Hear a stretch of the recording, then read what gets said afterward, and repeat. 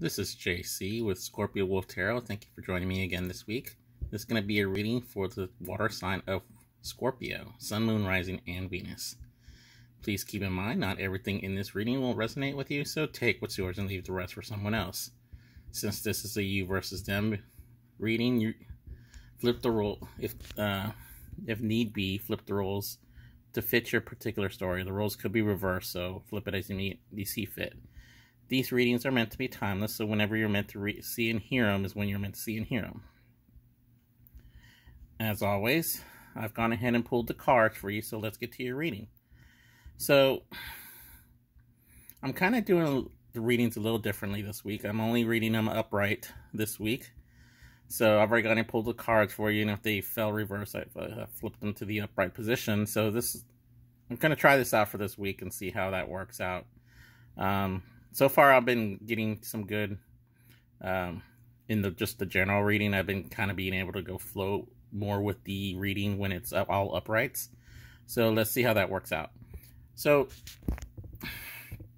in your current energy between the person you came to this reading for, you and the person you came to this reading for, is the Five of Cups. So I kind of feel that one of you or both of you are wallowing. I kind of feel it's you, Scorpio, that's wallowing in the spilled cups I think you you're focused too much on the past. The energies kind of kept you there.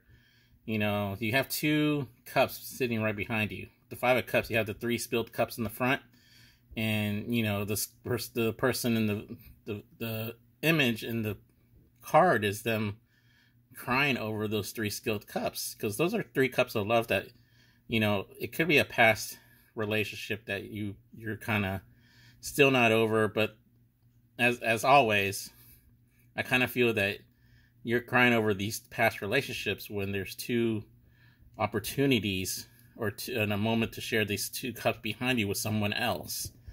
Um, that being said, with the Knight of Cups here, I kind of feel that, you know, an offer of love should be coming to you, but with the with the Knight of Cups here, after the Five of Cups, I kind of feel that you're kind of stalled right now you're kind of stalled with the Knight of Cups. So you have this, the horse right here in, in this reading. You have him, he's about to cross that river, but he's not crossing that river yet. So the, it's kind of stalling the horse from moving forward, the river.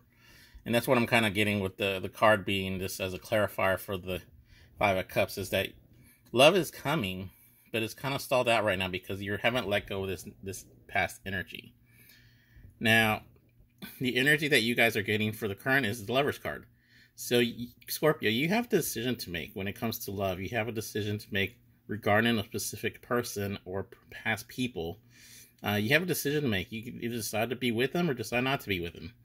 Um, but this is a call from the universe with the judgment card being here. This is a call from the universe to make a decision, to come do your divinely path. The angel, you know, the angel is blowing their horn to wake up wake up because it's time to make that decision. It's a call to get up and get going. And that's where I kind of feel what Scorpios are right now is to make that decision. The universe is asking you, hey, do you want this person or don't you want this person? And if you do, go do something about it. If you don't, then, you know, at least let them go so they can pursue other other opportunities. The, the time is now, Scorpio. So the time is, the universe is telling you now is the time to move forward. So that's the that's what you guys feel for the current current energy towards your person that you came to this reading for. You have a decision to make to be with them or not to be with them, and you're being called to do that, make that decision pretty soon here. Now your person, they they got the nine of cups, so the way they're feeling towards relationship towards you is that they feel that you know you are the wish fulfillment for them. I mean, you're gonna you're gonna being with you would be the best thing to come to happen to them, and they they would celebrate that opportunity to be with you. Now, I kind of feel with the Page of Cups being here is that this is someone that's a little younger than you. You know, it could they could be a little younger than you, uh, a little immature, you know, but they're curious about this relationship. They really want to make this offer to you. They have a small cup. A page is a small offer, but it's it's also an offer of love that they want to present to you. And whether you want to accept it or not is up to you but they're willing to make that small offer to you. This might be an immature offer, you know, granted it because it's a page of cups and not a king of cups. but it's an offer nonetheless. And it's kind of it's and the way that the these cards kind of fell out, you have the nine of Cups facing the Page of Cups. So you you're ready to make that mature offer. And they're ready to make that offer. And they're all they're both looking at each other in this deck. So I kind of feel that you're both ready to make that offer to one another. It's just get over this past past hurt. And then I think you'll be ready to make that decision in love with the lover's card and there and bring this bring these offers together. Those see I got got two cups here. Two cups, you have one cup, they have one cup. There's two cups there behind them, the ones that are not spilled. So that's kind of it's kind of poetic in, in a sense to just see it see it fall out like that. So that's all I have for you uh, for this week, Scorpio. Thank you for joining me. If you haven't already done so, hit that subscribe button. I'd really appreciate more subscribers to the channel. We're currently still at 36 subscribers, trying to hit the goal of 50 by the end of the month.